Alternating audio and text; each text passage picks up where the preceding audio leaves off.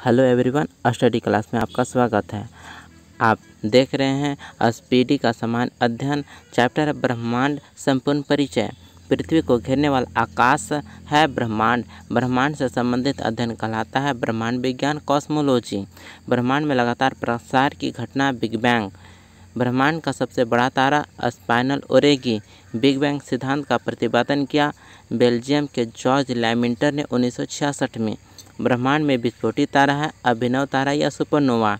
ब्रह्मांड की आयु तेरह बिलियन वर्ष। ब्रह्मांड का व्यास है दस के पावर आठ प्रकाश वर्ष। एक वर्ष में प्रकाश द्वारा तय की गई दूरी कहलाता है प्रकाश वर्ष। खगोलीय दूरी का सबसे बड़ा मात्रक पार्सेक एक पार्सेक बराबर होता है तीन दशमलव दो छः प्रकाश वर्ष। प्रकाश वर्ष मात्रक है दूरी का।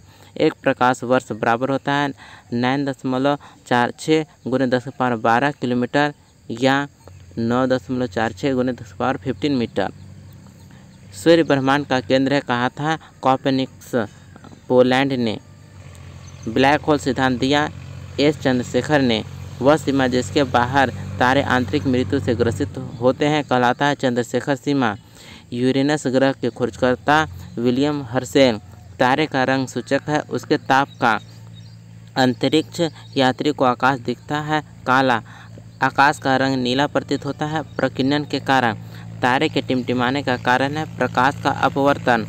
तारों का सुंदर पैटर्न कहलाता है तारामंडल। तारामंडलों की कुल संख्या है नवासी सबसे बड़ा तारामंडल है सेंटोरस। सबसे छोटा तारामंडल है क्रॉक्स। तारों के बड़े बड़े गुच्छों का समूह कहलाता है गैलेक्सी। व्यास दस के पाँच प्रकाश वर्ष। आकाशगंगा की आकृति है सर्पिलाकार। आकाशगंगा गैलेक्सी की निकटतम मंदाकिनी है देवयानी एंडोमेडा। वह खगोलीय एकक एस्ट्रोनॉमिकल यूनिट औसत दूरी है, सूर्य और पृथ्वी के बीच का। पृथ्वी तथा सौरमंडल जिस आकाशगंगा में स्थित है, वह कहलाता है दुग्ध मेखला। दुग्ध मेखला यानी मिल्की वे है, एक मंदाकिनी। मंदाकिनी है अरबों तारों का समूह। नवीनतम ज्ञात मंदाकिनी है डवाड मंदाकिनी पल्सर होते हैं, तेज़ी से घूमने वाले तारे। आकाशगंगा मंदाकिनी को सर्वप्रथम देखा था गैलीलियो ने। छिहत्तर वर्षों के अंतराल पर दिखाई देने वाला धूमकेतु हेली अंतिम बार उन्नीस सौ छियासी में दिखा। हेली धूमकेतु पुनः दिखाई पड़ेगा दो हज़ार बासठ में। इस प्रकार से स्टडी क्लास का यह वीडियो समाप्त होता है। आप इस चैनल को यदि नए हैं तो सब्सक्राइब कर लें और लाइक ज़रूर कर लें तथा दोस्तों के साथ शेयर ज़रूर करें। मिलते हैं अगले वीडियो में, तब तक के लिए धन्यवाद, जय हिंद।